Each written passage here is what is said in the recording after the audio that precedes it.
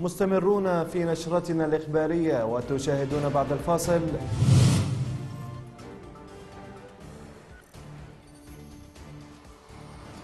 مفوضية الانتخابات تعلن أن الحملات الإعلامية ستنطلق بعد غدا السبت.